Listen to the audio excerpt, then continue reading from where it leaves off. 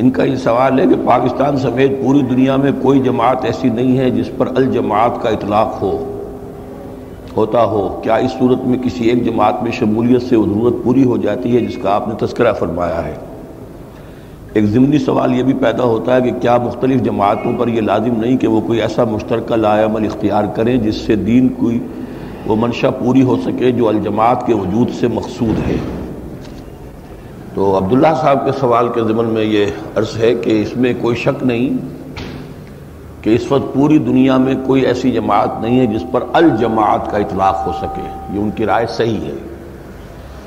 अल जमात से मुराद ऐसी जमात है कि जिसमें किसी बंद मोमिन का, मुस्लिम का होना लाजिम हो, जिससे बाहर फिर इस्लाम नहीं है। ये अल जमात या तो थी खुद हुजूर अलैहि वसल्लम की जमात या सिर्फ़ खिलाफत राशदा का निज़ाम, कि जो ये एक वाहिद निज़ाम था, और उसी के तहत जो है आलम इस्लाम भी मुतहद था।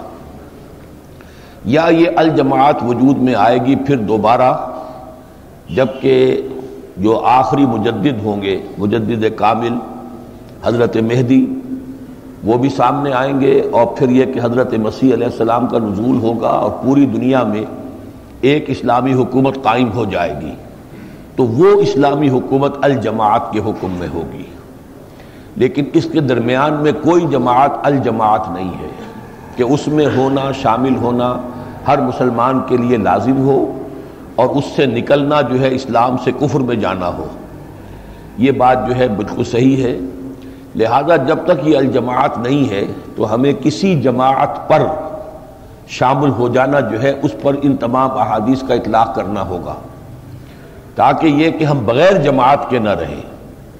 अल्लाह ताला को जब भी मंजूर होगा, वो अलजमात भी वजूद में आ जाएगी। उसके लिए नीयत रखें कि जब वो अलजमात वजूद में आ जाए, हम उसमें शामिल होंगे। लेकिन उससे पहले भी बग़ैर जमात की ज़िंदगी न हो।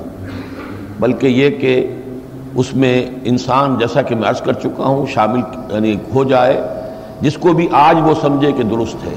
मज़ीद गौर व फ़िक्र जारी रखे और अल्लाह ताला से मज़ीद हिदायत और तोफ़ी तलब करता रहे।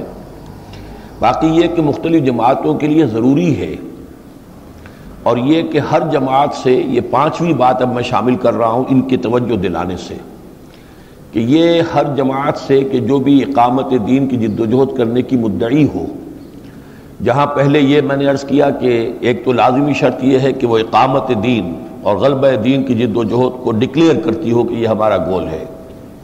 सानियन ये कि उसका नज़म हो डिसिप्लिन ऑर्गेनाइजेशन हो समोतात का नज़म हो। खा वो समोतात बैत शख्सी पर हो खा बैत दस्तूरी पर हो। बैत शख्सी जो है, वो मनसूस मासूर और मसनून होने के हवाले से तीन दर्जे अफजल है। नंबर तीन, उसका तरीक़ार जो है, वो सीरतुलनबी से माखूज हो। नंबर चार, उसकी क़्यादत के बारे में अतमाद हो। नंबर पाँच, अब ये शामिल कर लें वो ये कि उससे ये मालूम कीजिए कि उसने दूसरी जमातों को दावत दी है कभी इश्तराक अमल की या नहीं। इस हवाले से हर जमात का रिकॉर्ड क्या है? उसने किस दर्जे अपना सीना खुला साबित किया है? गुफ्तो शनीद के दर्जे में, दूसरों को अपने यहाँ दावत देने के दर्जे में, और फिर यह कि उसके ज़िमन में कोई तजवीज़ें पेश की हैं। इस ज़िमन में मैं सिर्फ़ अर्ज़ कर दूँ कि शायद सिवाय तंजीम इस्लामी के कोई जमात, कोई भी अपना ऐसा पेश न कर सके, जबकि हमारे पास एक मुफसल रिकॉर्ड मौजूद है। बल्कि वो शायद शुदा भी है किताबचे की शक्ल में, जो हजरात चाहे उन्हें वो हासिल भी हो सकता है।